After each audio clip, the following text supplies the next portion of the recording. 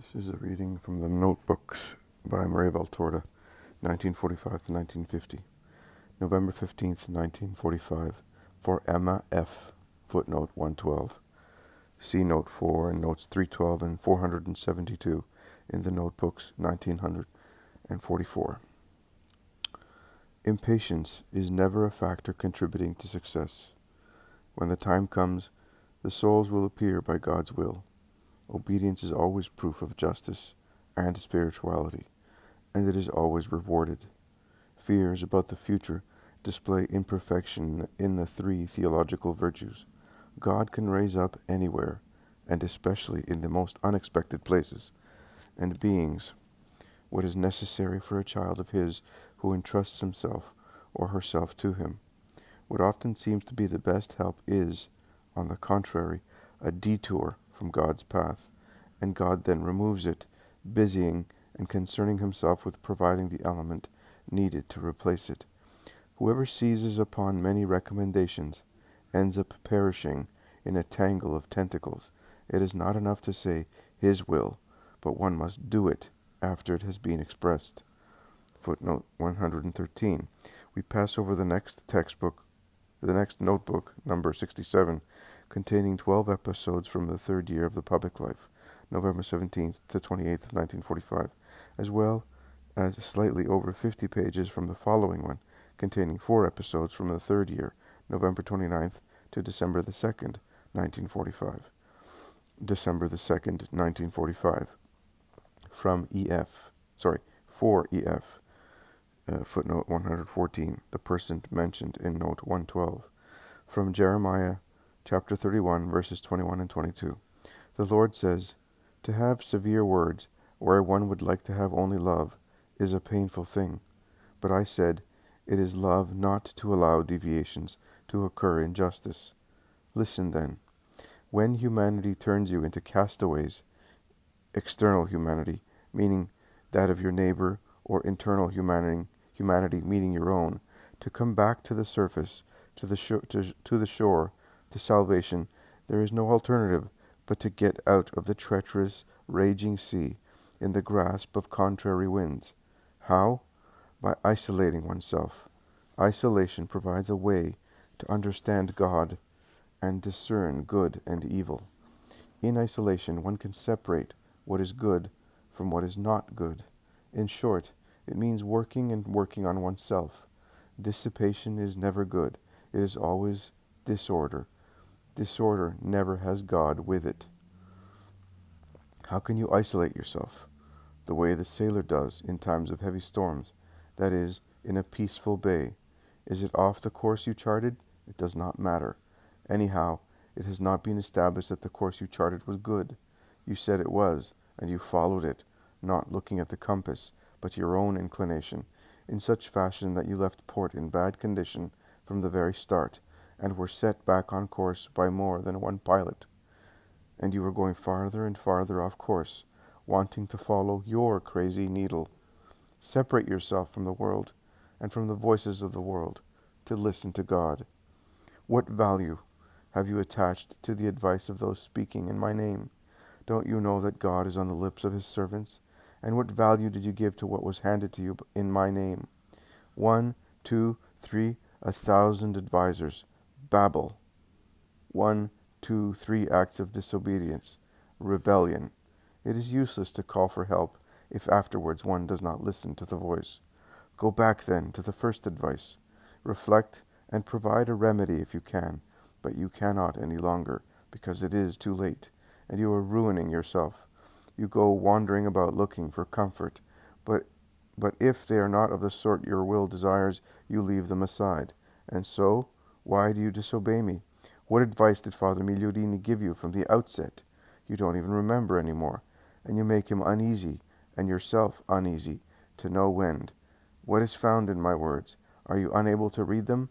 As long as you fail to read the signs and make more mistakes, even when I supply providential remedies for the foolish sending of letters, almost as if seeking vocations is like seeking merchandise, you proceed. But my words, my words, isolate yourself, cut off relations, don't deceive yourself. Impose silence concerning yourself, around yourself, in yourself. Let the wind fall, and then, humbled and subject, obedient and patient, start all over again by other routes. Do you want to be a victim? Break yourself. Obedience lasts even after the dissolution of vows. Obedience to me. If the work were to fail definitively, my heart, yours, and that of others would suffer therefrom, but your soul would benefit if you are able to turn this torture into sanctification. Bend your soul. Bend it. It will sprout stronger wings. You have freedom to know how to use it. Manage to be patient so as to be able to conclude, and heroic to be able to humble yourself. If need be, you shall purify yourself in another order, or even, and if it is not a life less pleasing to God, and it is not a life less pleasing to God in the secrecy of a house in the world. May the light be with you, confused soul. Footnote 115. We pass over about 13 handwritten pages containing two episodes from the third year of the public life, December the 3rd and 4th of 1945. December the 4th, 1945. St. Martina. It is 8 p.m. I am invaded by a supernatural joy which is so intense that it already tastes like ecstasy. I don't know what it comes from because there is no reason. I am weary, filled with pain, and dazed because I've had to speak a lot and also listen to things which are anything but a cause for joy. The ruin of spirits. Just imagine how I suffered, and yet this very intense joy comes, very intense. And then a place with stonework appears to me, thick, dark, thick dark walls, damp, I think the color of very light coffee or very dark mud. The place is like a rotunda from which corridors extend out in this shape. And she's got a, an X drawn over a circle. I say corridors because the sky is not visible. There is a dark, high ceiling, like the walls and big square stones like the ones at Tullianum. Footnote 116. See the entry for February 29th in the notebooks, 1944. Right at the center of the rotunda, a child appears to me, not much older than a little girl. She must be 12 years old at most, and her body is even less developed than St. Agnes's. Footnote 117. See the entries for January 13th and January 20th in the notebooks 1944, from whom she also differs because in addition to being smaller, her hair is brown and her skin is a brownish white. She has two big, very sweet black eyes, a bit sad, as if tired, as if they have suffered a lot, or belong to one who has suffered very much. Her robe is completely white, made of linen, very loose, without a belt, elbow length sleeves from which two very shapely forearms emerge, ending in two little brownish hands crossed over her chest. The figure is luminous, but not excessively. It is not the radiant figure of a saint. It is a humble apparition, and yet it is luminous, with starlight, with, within a light veil of mist. But it attracts me because it is light, with a pure softness, bestowing peace and joy. The contrast to the dark walls is very sharp. She looks at me and smiles. Behind her back, along the two sides of the here's the picture which I have marked with the hyphen, some men in short yellow gray robes are running off. Four are heading north, towards a barely visible, far off light, as if the high corridor ended in an open place. The others are heading south, in a deeper darkness to the point where I cannot tell exactly how many there are. I understand, however, that the girl is a martyr, for she is clasping a small palm to her breast, in her folded arms a white palm, I dare to say spiritualized, as is the linen of the tunic, which is more immaterial and magnificent than even the most beautiful linen. But I do not know who she is, and ask, Who are you? She answers, Martina, and this is the place where I suffered greatly. One of the places, for I have suffered greatly, so many martyrdoms before the sword, and those who are fleeing are the ones who tormented me. The ones heading towards the light are those I saved with my pain and baptized with my blood. The others are those who did not want to convert to Jesus. But now I am happy. There is no more pain. To come to glory, one must suffer everything. Remember, I am Martina, and I am also particularly called upon in the invocations of the Church. Oh, for Jesus is good, and for a little pain he grants so much joy and so much power. Goodbye. I am your friend. You do not remember me, and yet you knew me and loved me when you were, my, were a girl my age. I have always loved you, though, together with Agnes. May the light of paradise always shine in you and help you to bear the light to so many souls. Goodbye. Receive this. I will sprinkle, sprinkle you with my balms. And she shakes the palm towards me, and then folds her arms over her chest again, and disappears from my sight with a soft, immaterial, unrepeatable song, and everything sparkles in the dismal place while she goes off, leaving as a memento only a tremendous, indescribable fragrance. I take up the missal, four lines, on St. Martina for January 30th. I look at an old prayer book. She's not even mentioned. I search through my memory. Nothing. Complete historical darkness. There remain, though, her friendship, her gaze, her smile, and the scent of her balms, and the previous joy lasts and takes me high up, very high up. Footnote 118. We pass over the remaining 26 pages, handwritten pages containing two episodes from the third year of the public life, December 5 and 6th of 1945, and about 22 pages from the next notebook containing the episode entitled The Bread of Heaven. December the 7th, 1945. Jesus says, This language is too hard. He wants to make us victims of his madness. Men still say when I exhort them to live justly and instruct them on how religion should be understood and practiced to make it a way of life yielding eternal life, and they do not realize that in so saying they confess to being degraded below their condition as men. They speak of evolution, of a superman. Well then, let us consider man as I found him, brought to this point after his descent from paradise. Draw the diagram as I guide your hand. Footnote 119. The writer here adds in parentheses, I turn the page because the diagram is not there, and on the next two pages of the no notebook, the drawing is made. And when the diagram is finished, you will see that there is not an advance, but a decline. Evolution. When today's proud and false philosophers speak of evolution, they presuppose the, the concept of ascent. But to evolve means to proceed from one point to another, and then one can proceed by spirals, either upwards or downwards. Can't you make a spiral? Make a parabola. Do you see? If he had moved on the right side, he would have evolved towards heaven. He wanted the left side. That's the current Superman, today's evolved one, who thinks it is madness to live at least as a man if he is unable to become an angel. And he calls himself a victim because I exhort him to live as a man, and he calls me mad, yes, quite mad, because of love. Love me, love me, little John. Footnote 120. We pass over 110 handwritten pages containing eight episodes from the third year of the public life. It's hard to read what she wrote here, but this is what it looks like.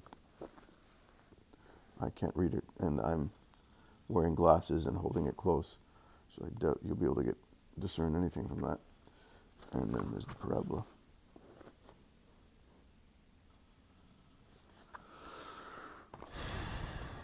December the 18th, 1945.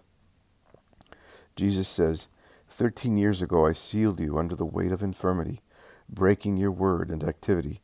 You had to save for years through pain. When I made you a fountain to save through the word, I made you a spokesman. Today, my hidden violet, I authorize you to make use of the things you have heard and seen, with prudence, without avarice, with holiness, and for a holy end. It was my clear and firm desire that no one could draw from the reservoir into which my word is poured through you, unless it was first completely filled. But since there was a wish to draw from it drop by drop, and in reality I did not like this very much, because it is imprudent and diminishes the work.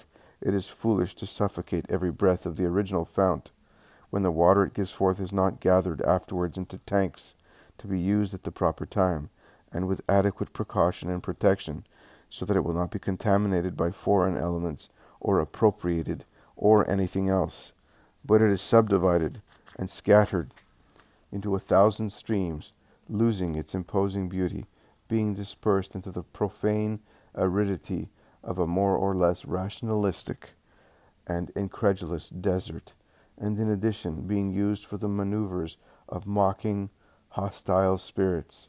Therefore, little John, when you see that my word can become balm and salvation, give my word. Do not be afraid. You will clearly see who it is good to give it to. The light illuminates you.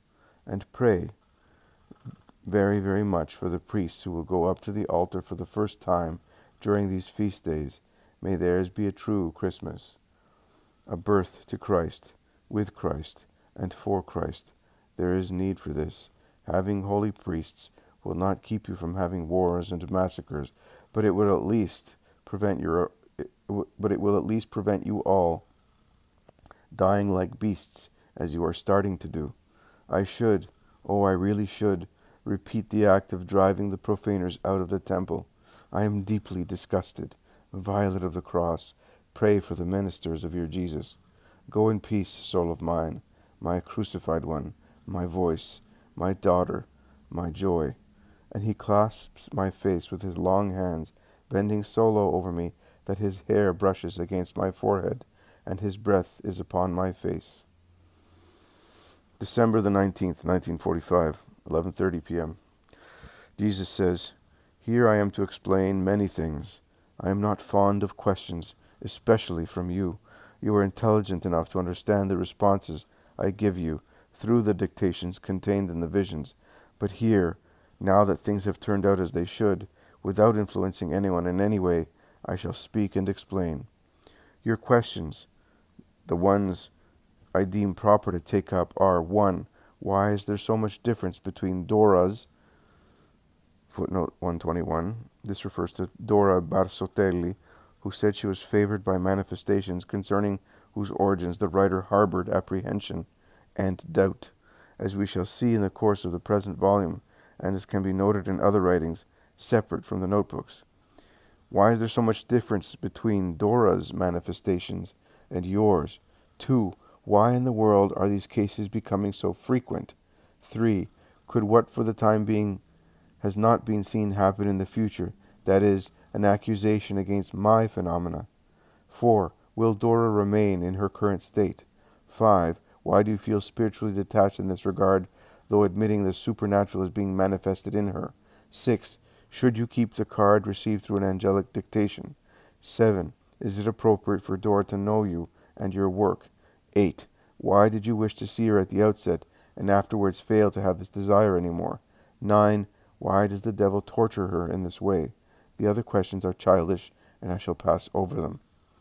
Now then, you must know that I adapt manifestations to the environment and purpose for which I have inspired them. You receive the mission to become a worldwide voice. You must sing the hymn of mercy and love, wisdom and perfection, for all ears and all hearts, all intelligence and all souls. Therefore, after having prepared you for this capacity, and do not grow proud, for everything you have been you have has been given you by me for this mission, including illness and being alone, everything. I made you a complete voice, a giant, you that are a pygmy, but it's not you, it's me in you. I am the giant. Then my little Christopher, who bears Christ, but are borne by him. Dora is destined to bring God to be loved by simple folk, who are not even able to say the Our Father, and are ignorant of the most elementary notions concerning religion.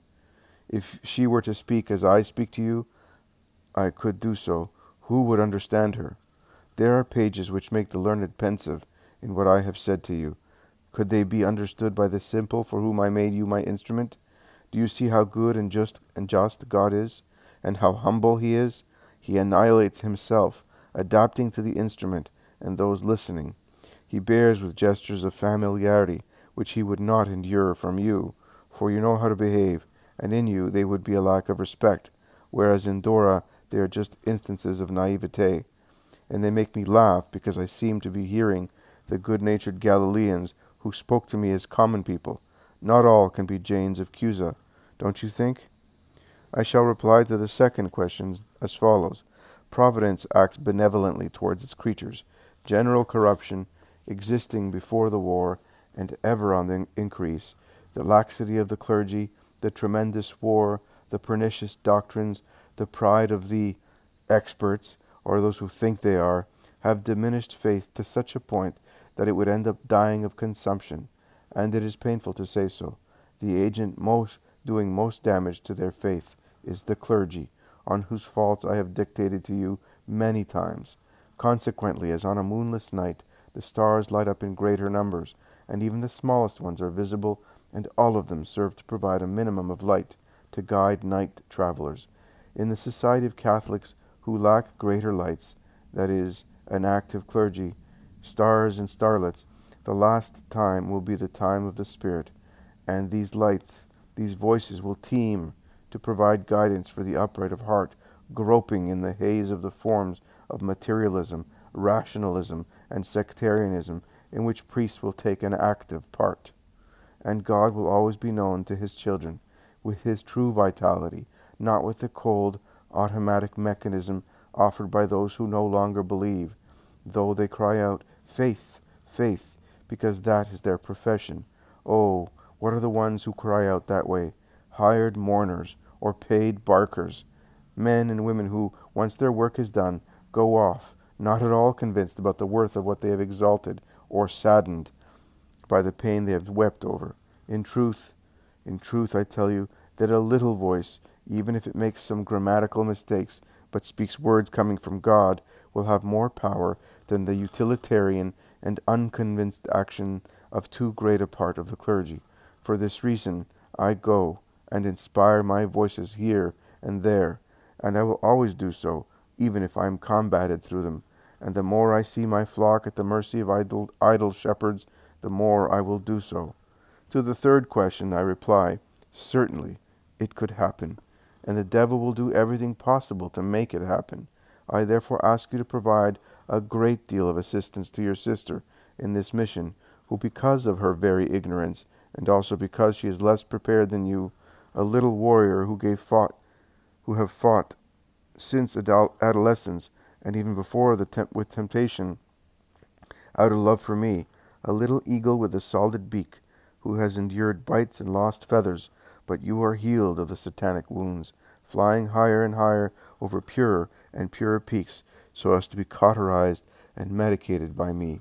The sun, the sun, she, on account of all of this, is less sensitive than you in feeling and distinguishing, and in reacting, and could be subjected to a craftier assault than the others by the evil one, who tries to destroy you and her, but you much more than her. For your range of action is vaster than Dora's, and more powerful, and I state here that it would be necessary for Dora to be nourished very frequently with the Eucharistic bread. If Satan does not want this, I do. Confession, too, will help her, but only because it will give her peace in the scruples which the enemy will infuse into her heart. It can thus be less frequent, but let the Eucharist be her strength. And here is the fourth question. And I answer souls are never static. They oscillate from the depths to the heights, and vice versa. They sometimes plunge, when pride or deceit or lust enters, driving me away from the soul or they shoot towards heaven when they immolate themselves according to my example. But these are special cases. In the Mass, ups and downs are observed. A soul, when taken to a certain level, can descend or ascend. It does not remain at that level.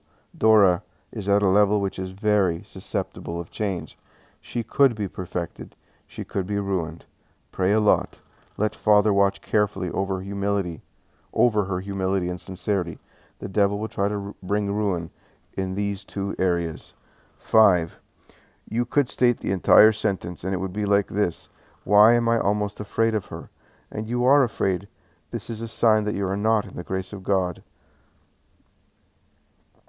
Come on. You are a girl sticking her head under the covers in order not to see the dark. But isn't darkness thicker under the covers? What are you afraid of? Of what you are? Dora is not like you. Poor Dora. She is the most innocuous being on earth. But Mary, my mother, was dismayed over the angel, and she was full of grace. What a mystery! For some, this fear felt by my mother, and yet it is easy to understand. She was the humble one, the hidden one, the consecrated one, the virgin. The secret is in these four words, and you are the violet of the cross, the hidden one, the consecrated one. That is why you do not desire social contacts and tremble at being known. That seems to you like being left naked. Do not fear. The veils over your mystical love shall not be lifted. Be at peace. Be at peace. Do not tremble with suffering. O my violet, sister, and spouse, I alone know you, and let it be known that my permission goes as far as I want.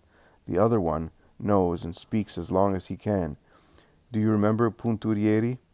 Footnote 122. See the notebooks, 1944. Note 788. Well then, of what use was he to bring Giuseppe here and give him to me? Do you see? The sixth question. Yes, keep that little page with your secret papers. Nothing else is necessary. Seventh question. No, it is not at all necessary. The stars follow their way even if they do not know or meet each other. Indeed, it's a disaster if two stars meet in the sky. The two of you have different missions tending towards a single aim. You will meet in the aim, in me. It is likewise useless, indeed, it is really not useful for the directly instructed woman to receive other instructions which would mean only exertion for her limited cultural background and superficial enjoyment. It is like this, at least for the time being. The environment is not suitable, either for keeping dictations. I will never recommend sufficient moderation and prudence in distributing the notebooks. Since people are slow to seek protection for them, let them be very slow in giving them to one person or another. Eighth question Why I carried out this action in you. The reason? It is not necessary for me to explain them, because it was right to do so, and you, also through my action in you, intuited this after having reflected in vain until the light came. It would be harmful for you, harmful for you to know one another, because both you and she have dealings with a rationalistic world. Do you know what the world would say? See how they exalt each other? This smacks of the Middle Ages, and they would call to mind the Peterinis and their like, and the and the Pyagnosis and their likes, until finishing with the great name of psychiatry. Until finishing with the great names in psychiatry. Forget about it. Forget about it. Let every fount yield its own flow without fussing. Similarly, it is also good for your work not to influence or seem to influence hers. Do you have the abundance of the word? Does she make her voice heard? Very good. Let each remain with what is characteristic of her. Ninth question. She is tortured materially because he could not torture her as he tortures you, with a more refined psyche. He is subtle and intelligent with you, and goads you in your psychic self. She, a poor creature would not understand the problems he waves in front of you to bring you doubts and fears, and he thus takes her by the hair and slams her. Well then, pray for her, who will have so much to suffer. So very much, poor Dora. Support her. She is a sister. May she not be lost. May having been called not be harmful to her. You see that Satan was able to inject his venom into the disciples. Pray that this will not happen here. She is in a great test and at a turning point. Show Father all of this, but it is a lesson for you and for him, and for no other. Let no one disobey. I do not want them to. And now rest, with your body weary, with your soul at peace. Be at peace. I bless you in the name of the Father, and of the Son, and of the Holy Spirit. And it is 1.20 a.m. on December the 20th. I am happy, though, to have received this dictation, and so soon I thank my Lord for it.